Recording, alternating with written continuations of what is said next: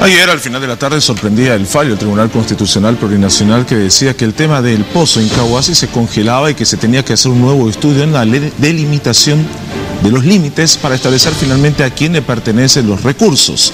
Esto para Santa Cruz significa un ingreso de 30 millones de bolivianos, es decir, el 40% de lo que recibe por regalías.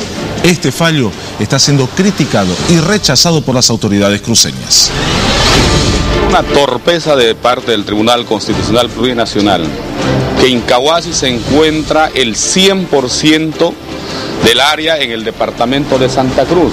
Autoridades no están de acuerdo con el fallo del Tribunal Constitucional, la cual paraliza la entrega de regalías al departamento de Santa Cruz, porque perjudica de gran manera el ingreso económico que tiene el departamento. Iniciarán acciones en contra de este fallo. Lo que esto va a generar es conflicto entre departamentos y nosotros no estamos de acuerdo que el Tribunal Constitucional Plurinacional pueda manifestarse de esta manera. Límites históricos reconocidos por el gobierno nacional, por el presidente de la nación y por todos los organismos del país.